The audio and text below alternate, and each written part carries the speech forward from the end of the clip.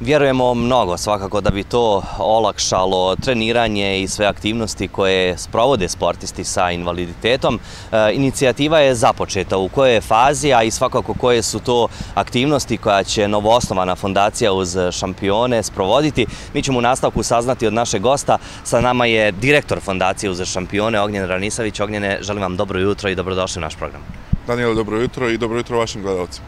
Evo, e, kao što sam rekao, uz šampione, fondacija novoosnovana, ako se ne varam nekih 15 dana ima kako ste e, formirali e, i osnovali fondaciju, koji su to, koja su to pitanja i koji je fokus djelovanja zapravo same fondacije?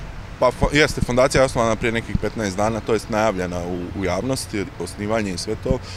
Fokus u najopštijem smislu jesu sport i sportici za lice sa invaliditetom. Ono što smo mi u svom djelovanju prije nego što smo počeli jel, sa radom mogli da, da primijetimo i identifikujemo jeste u stvari taj nedostatak prostora za treniranje, nedostatak tih termina, generalno, pogotovo ovdje u Banja Luc, gdje ima najviše klubova lica sa invaliditetom, a generalno i fali o, termina i za sve ostale klubove, tako da smo negdje ono, iz te potrebe i, i razmišljanja došli do toga da ovaj bi možda bilo naj, najbolje da probamo da nekim zajedničkim snagama napravimo jedan ozbiljan trening centar koji će biti onako svjetskog nivoa i što se tiče standarda i prilagođenosti, ali i uslova za održavanje i kvalitetnih treninga, ali na kraju krajeva bili bismo i mogućnost da organizujemo možda čak i neka prvenstva evropskog nivoa, možda i svjetskog.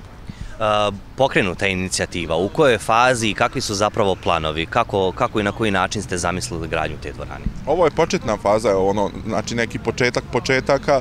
Ono što se tiče sam, samog djelovanja fondacije, na početku nam je naravno cilj da pokušavamo da prikupimo što više tih finansijskih sredstava koji će nam u stvari olakšati i ubrzati dolazak do tog cilja koji smo zacrtali svi zajedno.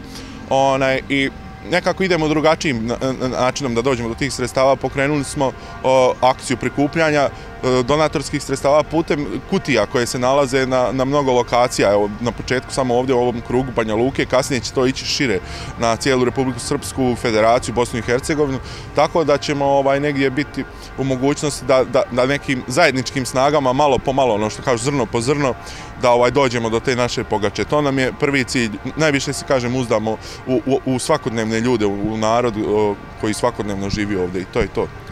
Da li ste se obraćali nadležnim institucijama, da li e, na neki način planirate jeli, da dobijete podršku i institucije? Obzirom na veličinu i ozbiljnost tog projekta, saradnja sa institucijama je neminovna. Mi moramo ovaj i dogovarati se oko mnogih stvari vezano za, za kompletan taj projekat, tako da institucije će naravno biti tu uključene i institucije će biti kontaktirane u smislu da nam pružaju neku vrstu podrške, logističke, finansijske, kako god, ali i u smislu da nam pomognu da što bolje obezbijedimo sve te resurse resurse koji će nam biti potrebni ovaj u, u tom centru, mislim na struju, vodu, te neke građevinske uslove, asfalt i sve to. Tako da evo, u narednom periodu naravno ćemo razgovarati sa svim, ne samo sa institucijama, nego sa svim ljudima, privrednicima, ovaj, političarima, ne znam, nija, svim, svim ljudima koji su u, u suštini u mogućnost da pomogu od nekih poznatih influencera, da kažemo moderno tako, glumaca, sportista, svi će biti ovaj obavješteni i zajedno ćemo to sve uraditi, bit će to jedna onako kak, zdrava priča.